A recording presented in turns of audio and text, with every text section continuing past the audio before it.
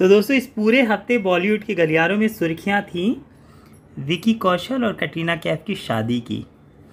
और अब शादी हो गई है नौ तारीख को और इसके बाद ये एक गिफ्ट पैकेट आया है उनके घर से। देखते हैं इसमें क्या है।